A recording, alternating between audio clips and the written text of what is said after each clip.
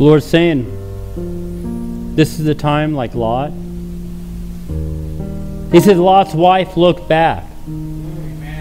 The church is looking back. The church is looking at the wrong places, wrong people. He said, I gave you a destination. It's the city on the hill. It's a place where no man can take you, no reward greater. He says, Your salvation is the key to your life. He says, You are not of this world. Don't look back.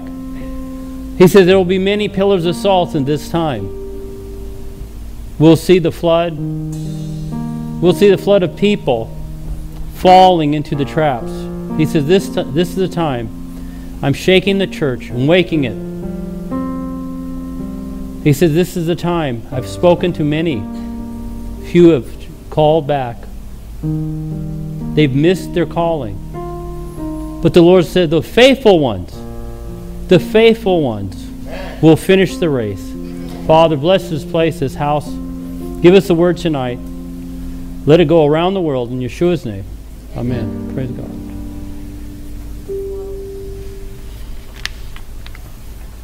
I like I like hearing from God.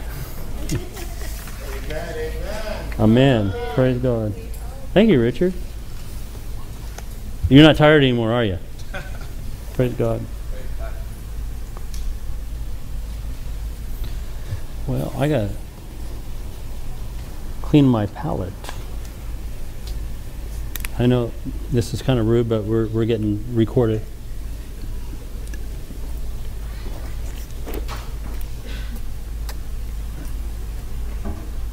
In the last few weeks, we've been uh, teaching on how the Parsha reading starts in the be- beginning of Genesis and it fi- finishes the, the year with the month of Elul, which is time of repentance. It starts off with the word, as Kimberly was teaching about Bereshit, the beginning, the word has to do with the Son of God, literally the Word of God coming from the Son of God that was spoken into us, breathed into our lungs to make us operate.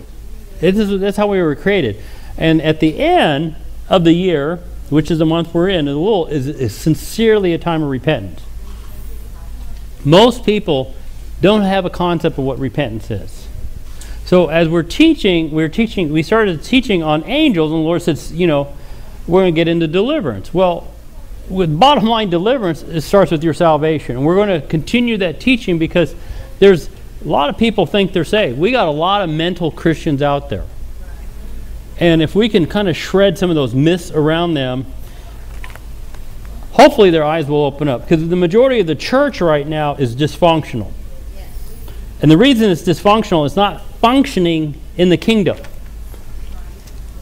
They're a person of the kingdom. They're born of the kingdom, but they're not functioning in, king, in the kingdom. So everything in Hebrew has a name, has a purpose. So there's a function to who you are. And so God brought you here for this time. So as, as we were in worship, the Lord was showing me about the time of Lot. A lot of people have strange feelings about Lot. And, you know, if you get into some of the commentaries about Lot, he was actually supposed to be an evangelist that got off track. You know, he came out with Abraham. He understood who the God, of the creator, uh, the heavens, the earth were. He knew that Abraham was following the correct God. And then he got, ended up in Vegas. Vegas. And not everything that goes on in Vegas stays in Vegas. And so as he got out, his wife turned about to look, and there was something there in her soul that tied her back to that place and time. And she lost it. And this is where, you know, we use the word kosher, kodesh. We're separate, holy. I mean, we're talking, we are not of this place. So these things that we're talking about, we have to literally reprogram ourselves in our soul and our spirit so we can operate. This, this, is, this is a hideous time. We're seeing things happen that are so hideous. And the threats that come at us right now, terrorist threats, are the lowest forms of threat because they're, they're attacking the most vulnerable people, the defenseless people. They do. And they use it's psychological warfare because your mind isn't trained to operate in faith, it operates sincerely in fear. Most folks without Christ are living in fear. I don't care how rich or poor they are, how strong physically they are, they are in fear. They're in fear, period. Without Christ, there is no hope. So that fear based mentality is out there. And so we have a whole generation. I, we talked about this before since 1948. We, we saw a shifting from the gospel being preached to a form of socialism being released. Because in 1948, the World Council of Churches got together with the UN and said something like, hey, the war's over. Let's help everybody. Let's not talk about Jesus. You know, Jesus is a nice guy. He's over there. We just want your money. Because it's kind of funny, all the nations that worship God had money. What a quinky dink. They were blessed. And so here comes these connivers, sneaky folk, undermining the church system. The one thing that we had above everything was salvation. When we lost it to a new generation, where I was watching this thing the other night on John Lennon, you know, shoot Oko, shoot Oko. Nothing, no problem. But what happened was they got they got off in the wrong direction, and they dragged the whole generation down the tubes. The mantra of rock and roll, you know, one of the one of the things that got them in trouble, they said, you know, rock and roll will be bigger than Jesus. No. No. No. Because the sins of rock and roll are being exposed. And so the, the, the flesh needs, those things that are out there, we have to sh- shift. This is such a serious time we're in. And so, what we've been teaching on salvation, teaching on deliverance, goes hand in hand. And we're going to get more into it because uh, actually, if you ever listen to what I teach, it's actually a series upon series upon series upon series. I got to go back and start labeling some of these series because it's been some good teaching and preaching. Let's go to. Uh, the parsha reading, Deuteronomy 23.10. And it's kind of funny because we're in Deuteronomy 23.10 and, and it, we, we, we're talking about blessing and curses and you know, everybody wants to be blessed, nobody wants to be cursed. But there's, there's a point where you get to choose who you are. Are you going to be blessed or are you going to be cursed? Right. And I, I'm talking, this can be any people group, anytime, period. And then we, we get into the prophetic side of this, when the God, God gives us words, you know, there, there are certain relationships. Uh, we had a situation last week, we prayed for something, the Lord gave us a immediate answer. And so God does do resolution for you. You don't have to get in a combative state with everybody around you that you don't like. All right? Because he, he knows your hearts and desires, but you just have to do it right. In Deuteronomy 23.10, uh, let's start with... Uh, Verse 9 When you go out as an army against your enemies, you shall keep yourself from every evil thing. Deuteronomy uh, 23 9. And the verse 10 If there's among you any man who is unclean because of a nocturnal emission, we're not going to talk about that part, that he must go outside the camp that he and may not re enter. When we start seeing this, the translations are different. I, am telling you, when you look at different translations, it's different. One of the translations says, When a camp goes out against your enemies, you shall keep yourselves from any evil manner. Matter. M A T T E R. When a camp goes out against your enemies, you shall keep yourselves from any evil matter. In the New Testament, it talks about being a soldier, not being entangled in worldly affairs. Now, in the Old Testament, we were talking about the corporate army. You know, in the New Testament, it doesn't talk about army uh, soldiers. It talks about soldier, singular, you. In the Old Testament, it's always a corporate group. But as a congregation, we're affected by what comes in the sanctuary. Yes. Now, there are people climbing the ladder, trying to get themselves clean, and there's people sliding down the ladders, getting dirtier. and sometimes you can't tell which way they're going. Seriously. Seriously. So, you know, as a congregation, you know, we pray for you. We pray for different folks in here. And uh, when, we, when we started teaching on sin back in February, we lost a bunch of folk. Does that mean? you know? But see, that, that separates you from God. So in this, we start understanding when, when we're battling in the, in the Old Testament, if you came back from battle and there was something wrong with you, you got wounded, or there was blood on your hands, they would leave you outside the camp for a period of time. As minimum one week, you'd be quarantined because the battle damages. You know, uh, what do they call it now when somebody goes to war? They get the, uh, yeah, postpartum just disorders. Those things actually have been going on for a long time, but they would sit outside the camp and confess these sins and they would wash themselves and they would get themselves functioning again. They wouldn't just go right back in the camp. So when, you know, people want to, well, I'm in sin, uh, I just repent and I'm back in here. I'm going to be, no, no, no, no, no. There's a point in time where you have to get yourself back in the saddle, but it has to be on a, on a clear conscience. The other thing is when you see in the Old Testament, in, especially when they were in, in the wilderness, if somebody in the camp was in sin, it would affect the whole camp. And this is why people in ministry have to have clean hands all the time. And so you don't want to be real quick to lay hands on certain people because if they're in sin, you don't want that on you. Right. You know, and, and, and this is where we start dealing with the Jezebel spirit, and we're not going to talk about her today. So the question today are you battling with dirty hands?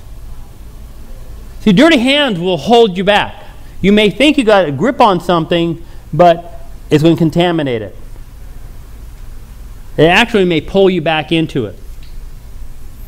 So we got to be careful about how we battle, and we have to understand something here is that as we're battling these kind of battles, will your soul be identified with the breakthrough that you're trying to achieve, or is your soul going to be identified by your sins?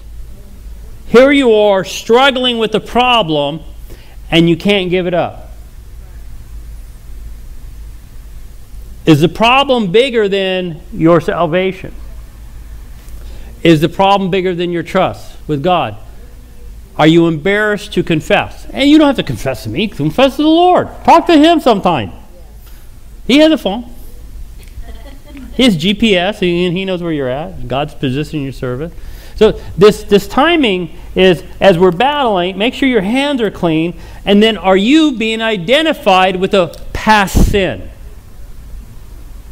I was talking to a, a, a I forget who it was. They had gone to a church and they, they just got saved or something, and they met this lady at this church, and she was telling everybody she met about the affair that she had a couple years ago. And it was an ongoing thing. She kept telling people, and, and it's like, well, that's, that, that shouldn't be your crowning victory. If your testimony is still, you're bringing this thing up, it's probably hurting your husband and stuff. Because she was married. It was, it was like, what a knucklehead thing. When I heard that, it's like, what kind of testimony is that? Some of the stuff, once it's been forgiven, leave it under the rug. You don't go back there. You don't advertise what an idiot you were at that time. Well, I was a Christian. I got in sin. Look what God did. And I'm still back in, you know, I'm talking about it. And she lost her testimony to somebody who was becoming a Christian.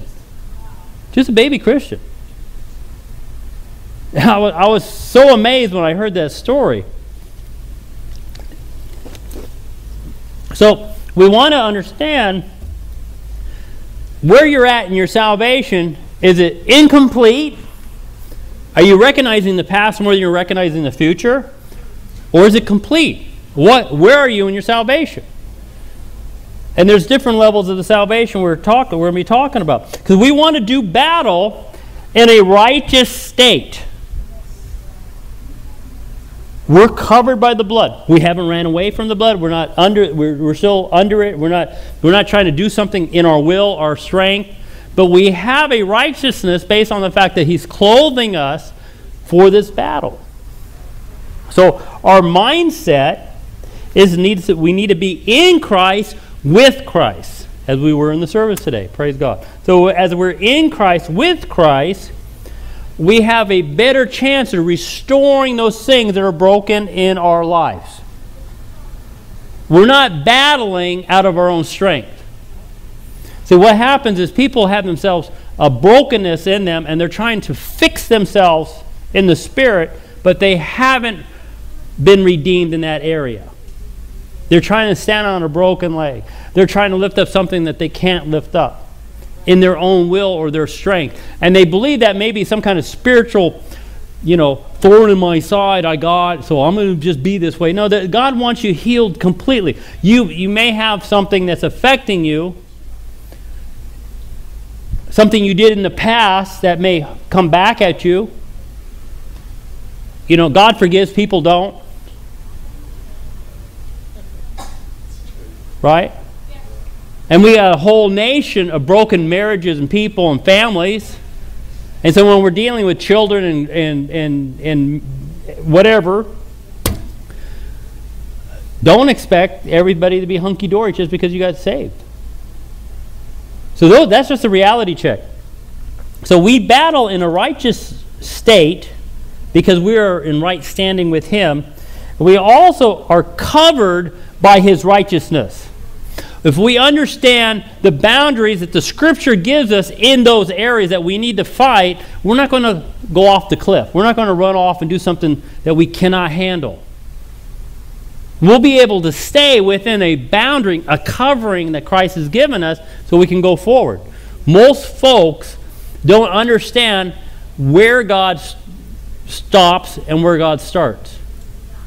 And so in your salvation, there you have to understand your scripture. The Old Testament only had the Scripture. When we get into the New Testament, we start seeing the whole shifting, but the early church knew what the boundaries were based on the fact that they had an incomplete salvation. When Christ came, they had a completed salvation, so they, they understood the boundaries. See, in the Old Testament, they had to stay within the Scripture to maintain their salvation. Because if they got out of that, they got into their own idol worship or self worship or just flat out sin. So we want to stay in a righteous state, and we, we have to understand there's two natures we're dealing with here. There's a sin nature that we got from Adam, and when the second Adam came, we have a new nature. It's called a salvation nature. It's a righteous nature. But, but our old nature is better shape, is, is, is in the shape of our sin nature. And we have to get into the salvation shape. We have to start getting those things out of our system that hold us back from the breakthrough. Let's go to uh, Hebrews chapter 2. Hebrews chapter 2, verse 3. Oh, my Bible. That's what, what was kind of great the other day.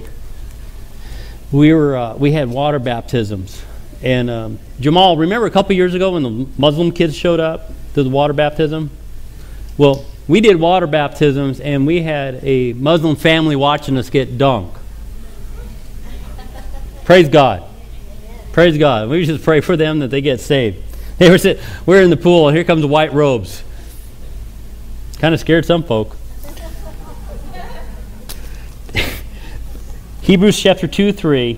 How shall we escape if we neglect so great a salvation after all at the first spoken through the word through the excuse me through the Lord it was confirmed to us by those who heard? Your salvation is your great escape. You're escaping an entire sin nature planet that was contaminated by Adam's fall and your flesh was birthed into the sin nature, and then your, your spirit came into this place where you cannot control anything other than accept Christ. Once you accept Christ, then you, you turn 180 and you walk away from all those things. You detach yourself from the sin nature and you start walking into a righteous nature and you grow up. Well, there are a lot of people that look good on the outside, but on the inside, they're, they're, they're cancerous, religious, rotten folk. And so we don't want to have become a hypocrite, and we see that a lot when Paul was dealing with a lot of the religious people because they thought they had some form of salvation based on a religious act or self-promotion in a community. That's the problem with the church right now. People can go to church and they're not never contested or their their faith or their salvation's never tested to the level people know that they're actually saved. Well, we don't want to go there. We don't want to offend anybody. We're not trying to offend you. We're trying to get you out of the mud. You're drowning. You're, you need help.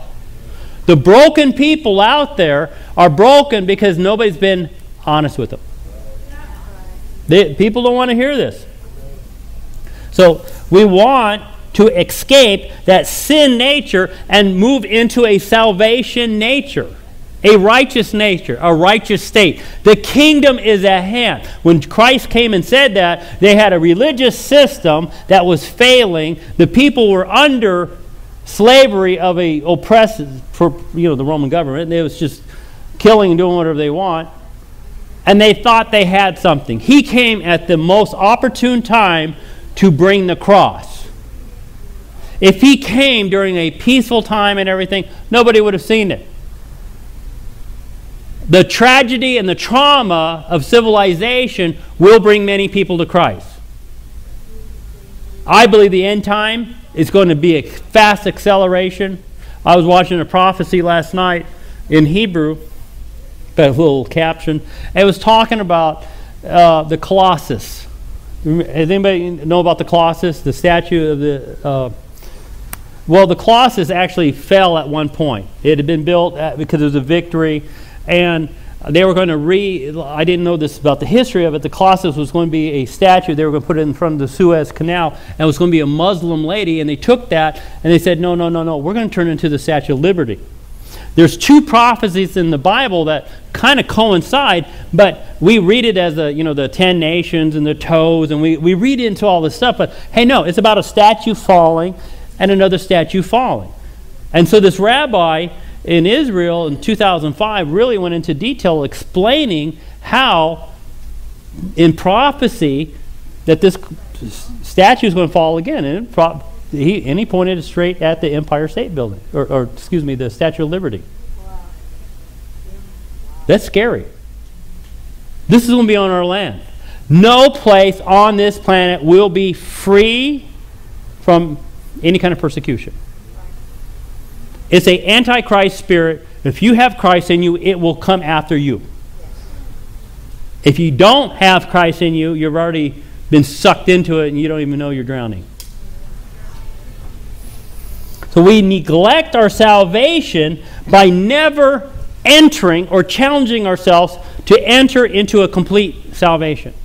Are you saying my salvation's incomplete? No, I'm saying there's more out there. There's more that you can receive from Christ. We're putting limits on Christ on our salvation. Well, I'm a good person. Hey, you know what? Nice guys finish last. There are things that you have to set boundaries with people. You, I tell people you can love them, but you don't have to live, live with them. You can forgive them. You don't have to live with them. Let's go to Ephesians 3 17 and 18.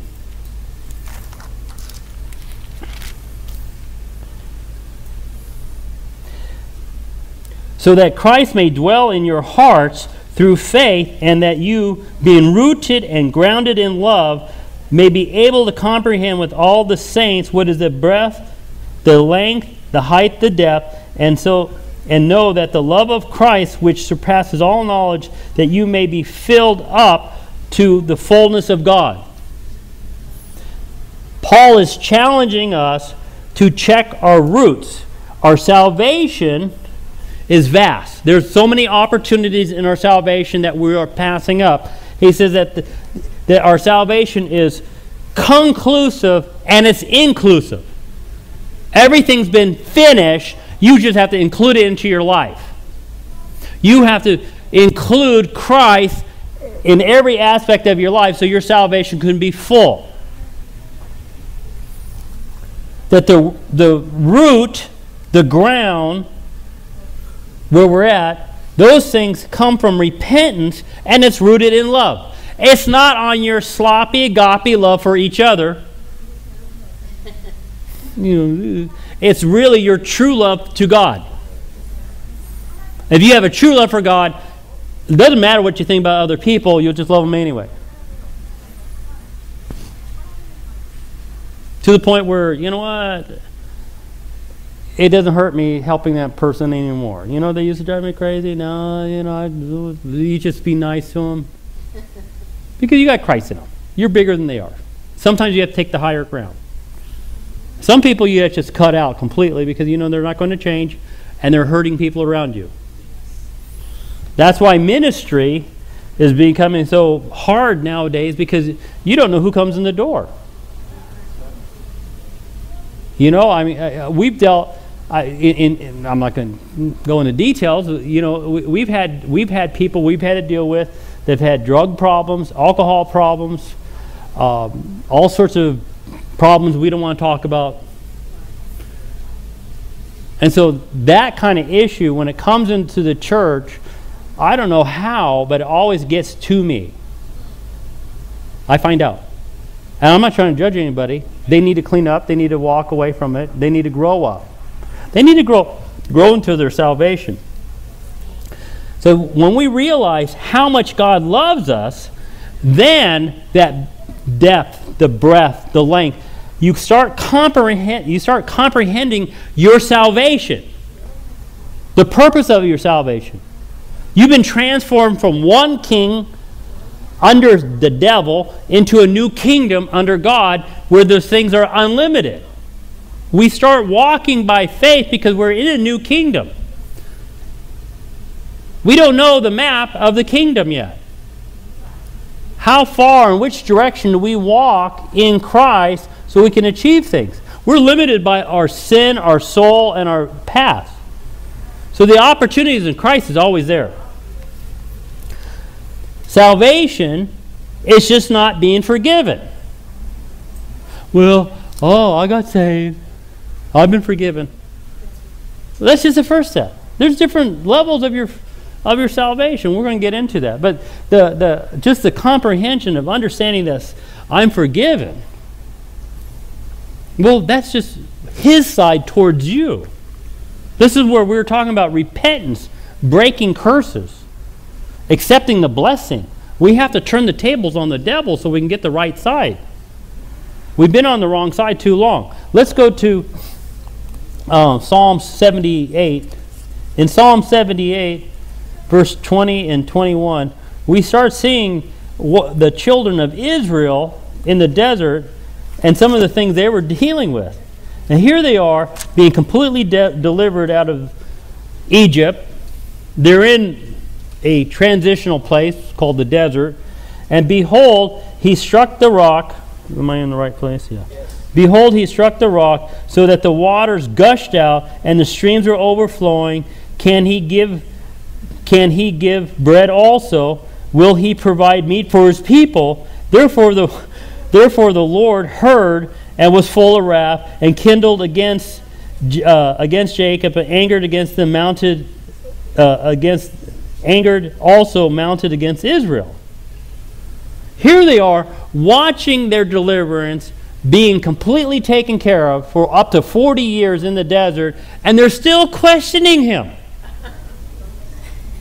And they start bringing a wrath.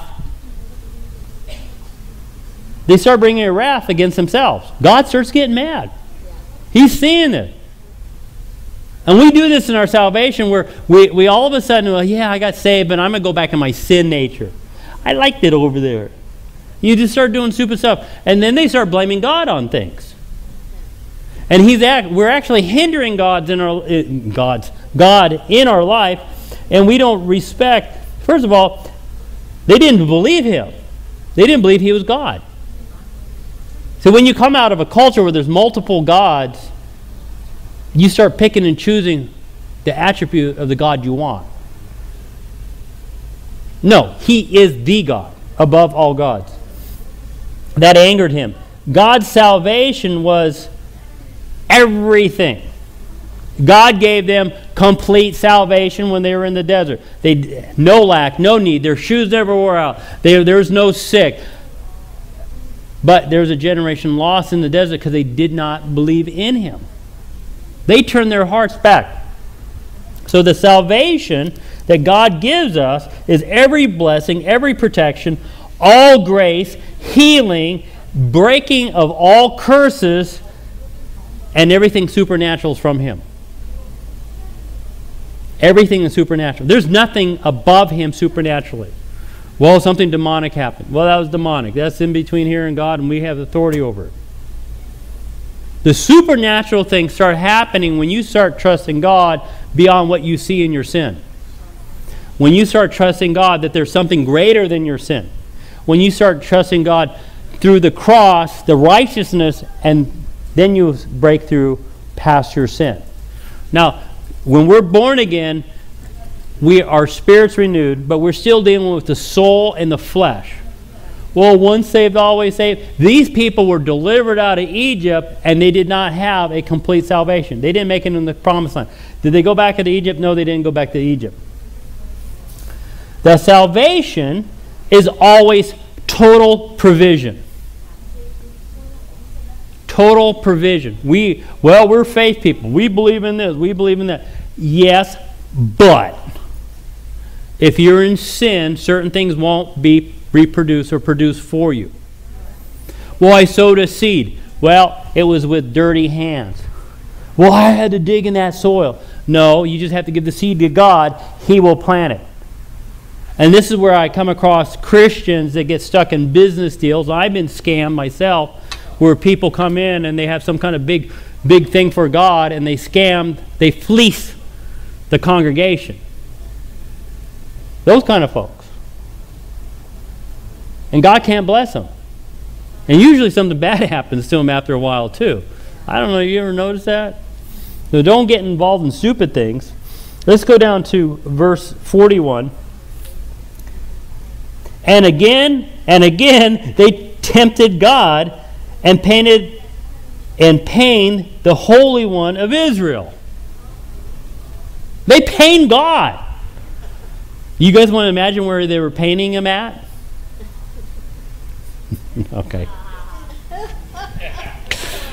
God, they pained God because he wanted to give them more. He wanted he wanted the complete package. He wanted the complete blessing. He wanted to release everything for them. Remember, it was an 11 day walk. It took them 40 years. And a whole generation was lost in the desert. We have to retrain this generation to get out of the desert quickly because when things start happening, it's going to be the power of God that's going to release people. The confession, understanding who Christ is, understanding what they're dealing with demonically. This politically correct stuff has to leave. Has to leave. It's killing the church. We have to, the diversity of our ministry here is just a blessing. Because you know what diversity does? It keeps us honest. And we're all here for one purpose is to support, understand who Christ Jesus is, Yeshua the Messiah. And his time is soon. It's coming quick. And so we need to be prepared. If I can prepare you, that's my job. I want to prepare you. But they they grieve God by limiting him.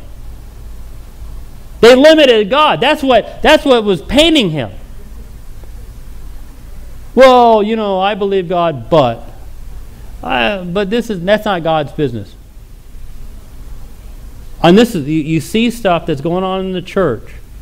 They're saying there there are there are churches that I hate to say it. There's gay churches out there. There there are churches out there, and this is where our walk has to be cleaned up. Let me tell you something. And I'm not I'm not getting on anybody. And uh, we got a clean house here. I don't have to worry about any of you. In the old days, people got married by the time they're 20, 25 years old. That cut out a lot of garbage real quick. Seriously. And you, you get a family, you get a job, you get work, you have kids, and you just keep growing. That's really good. We have this whole generation of limbo where people are in their 40s still trying to find themselves. Hey, I'll have to remember that one. Okay, everybody's awake. But they're trying to find themselves. Well, you know, this is where we need to have the camaraderie of marriage. We need to have the unity in the family. These things. And it needs to be restored ASAP. Because there's so many people out there. My, my friend had, uh, he passed away, and they're not going to watch this, so I'm going to say, their kids are in Colorado. They moved to Colorado when the, their youngest daughter was in high school. Dude, why would, why would you move your kids to college? Well, you know, we got opportunity. And their family, everybody, dude, you know, they're in Colorado right. making brownies.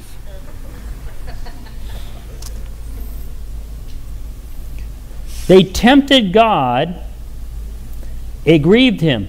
You set limits on God based on your soul and your sin nature. You have a salvation nature, God has given you a whole new kingdom, and you're still thinking under your sin nature and your flesh nature. So you're, you're limiting God based on the fact you're still tied to a sin someplace. When you were born again, you were completely delivered into a new kingdom, and you had to learn to cut off the past, cut off the flesh. Those things that are holding you in the world that really don't mean anything to God other than it grieves Him. Let's turn to Hebrews 14 or, or 10 14. And more you understand your salvation, guess what happens? A lot of these curses start getting broken off you. A lot of the stuff you thought was a curse has no hold on you. You were just in a holding pattern based on the wrong mindset, and you have to shift your mindset to a victory mindset. Hebrews 10:14 For by one offering he has perfected for all times those who are sanctified. And that word there, sanctified, is being sanctified. It's an ongoing process that he's sanctifying you. You're born again, but he, there's a process where you're going to step away from that. You're going to step away from this. You're going to step away from that. You're going to find yourself completely detached from your path. Well, you know, people find Jesus a lot when they're in jail. Did you ever notice that? Yeah, they realize, oh, you know, I'm not going to do that again. I'm not going to do that again. I'm not going to do that again. Once they're out of jail, they may still have that reputation. And you have to have a, some fortitude, understanding that Christ has forgiven you in the love of God. And so, because people can't, can't forgive you like God can. And a lot of times they get out and they feel rejected and they fall right back in that trap. We do the same thing and we've never been to prison. We're feeling rejected by our friends. Well, they used to like me before I was a Christian. They don't like you now? Pray for them. Pray that they get saved. Open their eyes, God. Send somebody to them. Praise God. You can't, you can't save everybody. The one sacrifice was perfected. It was a perfect sacrifice. And then when he was done, see, in the Old Testament, the, the priest would have to stand and sacrifice every year. We're going to do another sin offering, another sin offering. It was an ongoing thing because they were waiting for the Messiah. When he came, Jesus completed the task, com- complete sacrifice, complete propitiation. That's what the, the Yom Kippur is coming up. We, we understand that we completely been redeemed. And then he sat down. That was it. There's nothing more he can do. It's your mindset on how you view things and how you tie things back into your salvation that shouldn't be there. You have to let go of the past in a lot of areas. A lot of the things you, you, you've put value on really has no value anymore. And some of the things that are broken, you don't need anymore either. You don't need to go back and, you know, God fix my mess. No, that's going to work. He sat down, so nothing else can be done. It was completely completed. Completely complete. And that word shalom, we see that word shalom in Hebrew, everything in its place, nothing missing. Complete peace. Complete peace. Well, I'm praying for my kids. I'm praying for my kids. Uh, and you have to trust God that He's going to deal with them because the promises are you and your house will be saved. Right. Those things that were spoken into the Word, the written Word, will not return void. And your trust has to go to a higher level. You cannot function what you see is going on around you. You may be a thousand miles, five miles, whatever. You have to trust that God's dealing with those people. It's also that the Christ's sacrifice is a continuing sacrifice. It's never going to run out. And it's constantly sanctifying you and re sanctifying you as you reposition yourself closer and closer to Him. This is why we use the term a Christ centered life, because most of the folks are not even close to it. We taught years ago about the outer circle, inner circle, like a, bull, a target. You know, the, here's, here we are in the uh, outside, you know, the inner circle, God's perfect will. The next circle out is God's permissive will. And the next circle out is God's unpermitted will. And we bounce in between permissive, where God's just like, oh man, don't do that again,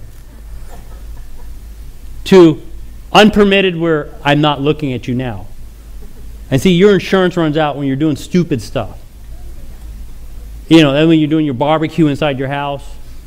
Years, years ago, we had a neighbor, before I moved into my house in North Scottsdale, this guy was a, a French chef. I was like, ooh, French chef.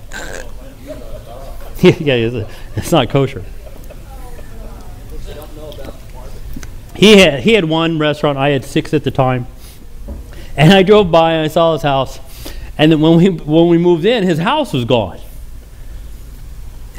he, he sold his business, took the money from his business, paid off his house, had a big party, and barbecued in the backyard, set his house on fire.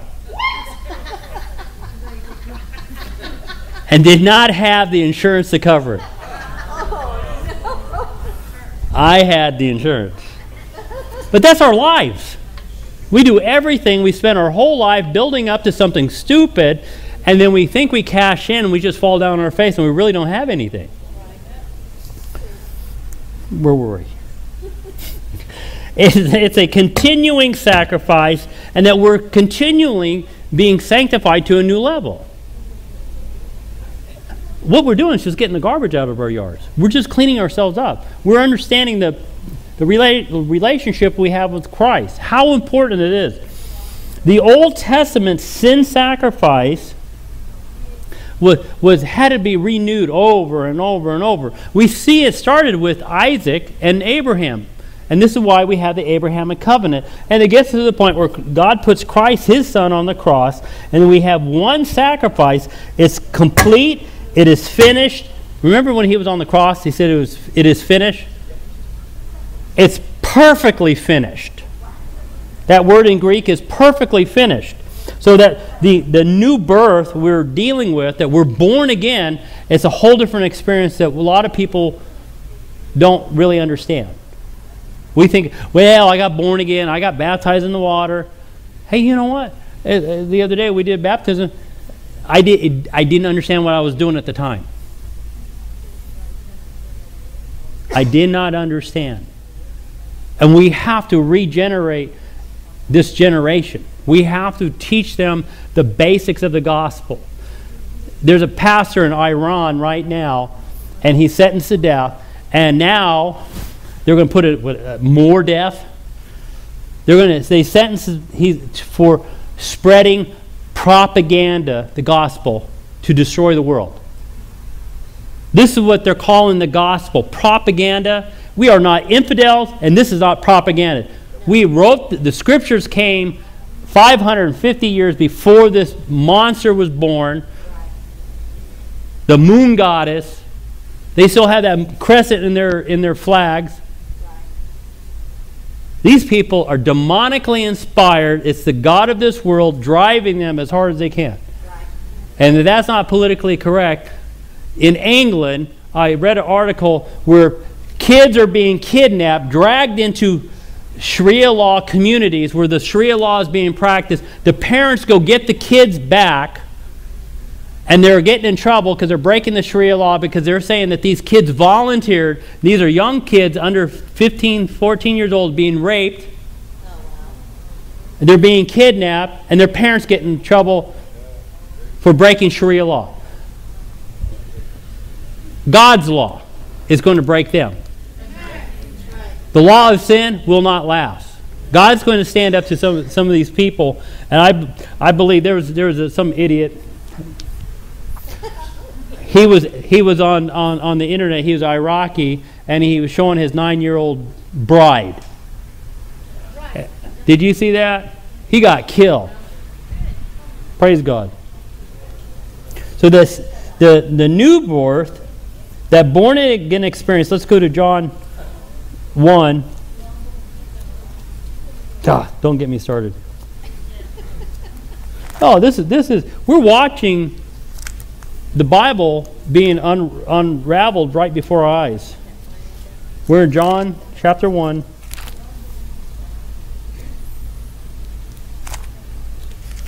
Verse 9 through 13. Ah, this is what I like. There was the true light. I like that. Praise God. I wasn't I wasn't planning on reading that originally, but when I saw it, I remembered there was the true light. He is the light, which coming into the world enlightens every man. Praise God.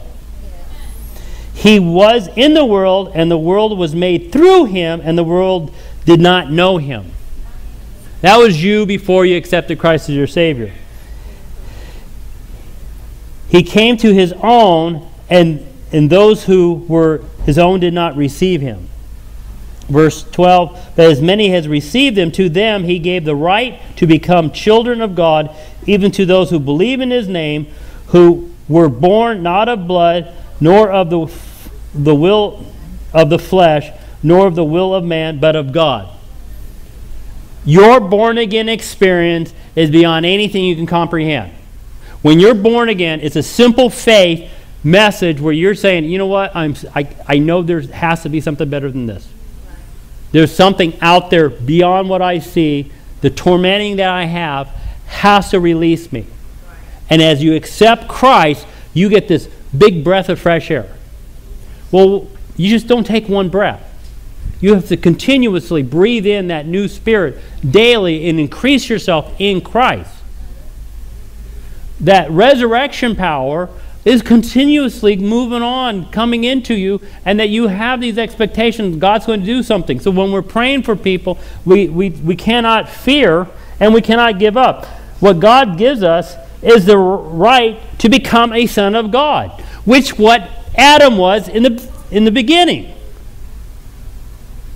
So we become, I don't we become a sinless person, but we still have to get rid of our old nature. Nature is a habit we fall into these habits. So we want to get rid of these, these sin natures, these thought processes. You know, well, I'm not pretty enough. I'm not tall enough. I, I don't speak well enough. These things that we condemn ourselves with are because our, our sin nature turns on us. So when we're in our when we're in our world, it's like, oh, we're so cool. We're in sin. We got all this great stuff going on. It's sin, yeah, yeah. And that sin, nobody caught that. That, that sin feels so good. and then you realize when you look back after you get born again, you're going, that was, that was wrong. But we still have that craving for sin. Jesus, Jesus used the expression like a dog returning to his vomit. How nasty is that? And that's what we do continuously. But the problem is the churches never get out of their sin nature while they're in salvation. Nobody's teaching this, and we're drowning because we don't know how to swim away from it. He gives us the right to become a son of God. And let's go to Ephesians 2 8. I, am going to wrap it up real quick. Ephesians 2 8. We see in Ephesians 2 8, by grace we are saved your initial contact with God is by grace. He sets it up where you can receive Ephesians 2 8. For by grace you have been saved through faith, not that of yourselves, it was a gift from God. In the beginning, when you heard about Jesus and you accepted Jesus, that's all you needed. After you accepted him, now you got a responsibility. And so when we're caring over people and our loved ones, our children, those people that we've prayed for, and they're, they're going faltering back between God and not believing God, that's between them and God. I'm telling you, God is dealing with them. And the problem is, is the church, the system, is not telling them, hey, look, you're stuck in the cycle of salvation. You think you have something, but your grace is going to run out. They're, they're, they're, they're not grown up. Paul deals with that a lot when he starts talking about the, the milk of the word. So by grace you're, you're saved. Let's go to um, Titus 3 5. In Titus, is, it talks not by works. We, we see a system of once you're saved, you got to get yourself built up, cleaned up, filled up. Titus 3 5. He saved us not on the basis of deeds which we have done in righteous, but according to his mercy by the washing and the regeneration and the renewing by the Holy Spirit. Once you're saved, then you got to grow up. You got to get cleaned up. You got to start following out what he's doing. You have to participate in the kingdom. Remember last week I was teaching on camaraderie that the if you're not in fellowship, you're a liar. Oh, I don't need to go to church. We, that's why the churches are falling apart. They're lying. They've been taught that, hey, we can, you can do your own thing as long as you're a good person, you pray every day. We have to have a congregation. Congregations keep you accountable, they reciprocate, God blesses you. There's the things that need to happen in the teaching, in the form of teaching, not just a entertainment center for you to go every week where your kids get babysat. That's what, hey, I, you know, that's why the Mormon church is so po- popular. 1 Corinthians 1 18. I'm, I'm trying to move along here. I, I, I guess I got on a ramp. I thought I had it covered. 1 Corinthians 1.